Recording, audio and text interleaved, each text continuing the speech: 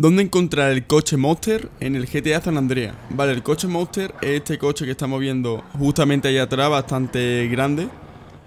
Y este coche ya hay uno bastante parecido en el GTA V que también lo podemos conseguir.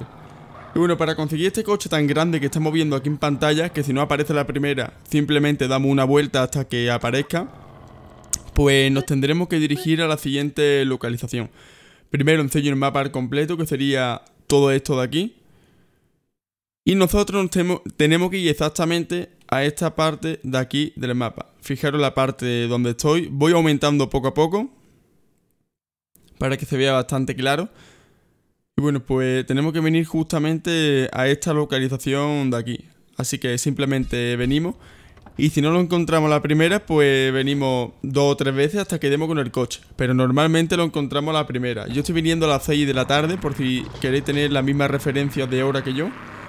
Bueno, un coche básicamente que puede pasar por todos lados porque tiene mucha fuerza, bastante envergadura y...